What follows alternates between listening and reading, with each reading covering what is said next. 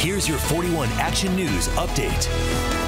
I'm Dia Wall with 41 Action News. Here are your headlines. Kansas City police say a man was killed and a child was injured in a shooting. Police say the child is going to be okay. This all happened after two people started arguing inside of a townhouse near 23rd and Wheeling Avenue and stressed that this is not a random shooting. Right now, police say there is no suspect in custody. Today, the Wyandotte County District Attorney announced his office will seek capital murder punishments for the two men charged in the deadly KCK bar shooting. Hugo Villanueva Morales and Javier Alatorre are accused of killing four people at Tequila KC in KCK last October. Today, the Missouri legislative session for 2020 started up in Jefferson City. In the new session, lawmakers will look to tackle several issues. The list includes expanding Medicaid, possibly legalizing sports gambling, raising teacher salaries, and trying to undo voter-approved plans for redistricting.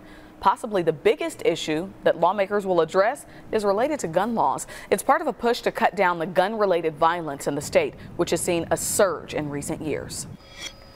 Changes on the way for Kauffman Stadium ahead of the new season. Skytracker flew over the K today. His crews made adjustments to the foul poles.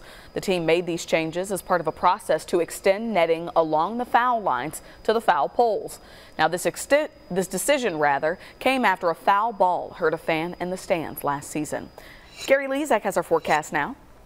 Hey, Dia, wow, the full moon behind me. It'll be setting tomorrow night at about 6 o'clock in the morning. That's when the moon sets. Full moon sets when the sun rises.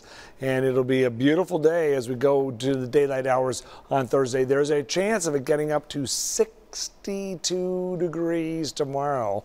Uh, sunshine mixed with clouds, 39 degrees with a 90% chance of some rain Friday, and it may change to snow and accumulate Saturday.